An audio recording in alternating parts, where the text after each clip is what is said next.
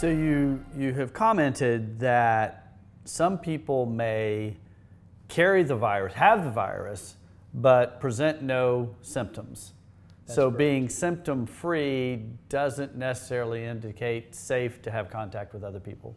40% of people with the flu, because I, I think it's important to, to draw the parallels between the flu and COVID 19 because we all know, like, for instance, this year, how much did you prepare your corporation for the flu? Most of us would have flu shots given before.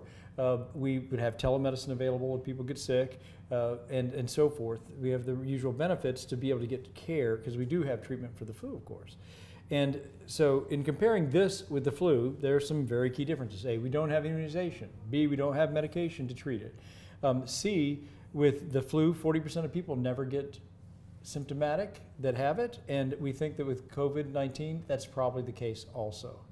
Um, with the flu, there's a degree to which you pass it on to other people. COVID 19 appears to be much more infectious than the flu. Like one person with COVID 19 is probably going to give it to two or three other people. Whereas with the flu, it, it tends to put you down, you uh, self isolate uh, automatically, and then you're not nearly as infectious.